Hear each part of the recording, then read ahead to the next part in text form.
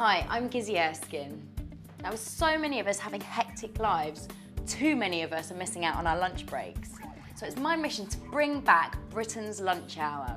I've been working with Monster and I've devised some really delicious recipes that are guaranteed to fill you up all afternoon.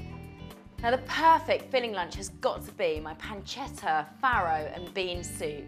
Now for anyone who doesn't know what farro is, it's spelt, so it's a bit like barley and it's really low GI and it's going to keep you really full and just on it throughout the rest of the afternoon. I haven't actually put any oil or fat into the pan and that's because the pancetta has so much anyway. So if that is not the most delicious, nutritious lunch, then I don't know what is. One of my favourite lunches in the universe is a rare roast beef salad.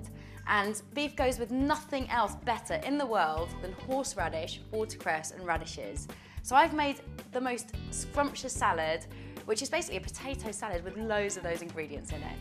You can have some rare beef that you've got left over from your Sunday lunch. I've just fried a steak up here and had that in the freezer for a little while. And there we are, the most delicious rare beef, radish and watercress salad. Life is not worth living if it doesn't have cheese and pastry in it. And that is what has created one of my favourite tarts, which is a courgette ribbon, goat's cheese and pine nut tarts. Courgette ribbons. So this is quite a novel idea, I suppose.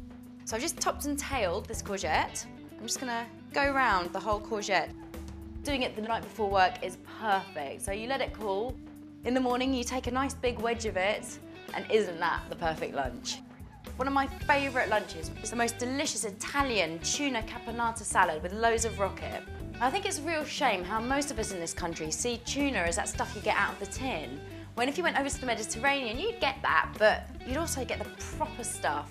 And there's no reason nowadays why we can't make our own lunches with real tuna. So I think we can safely say that that is the Mediterranean on a plate.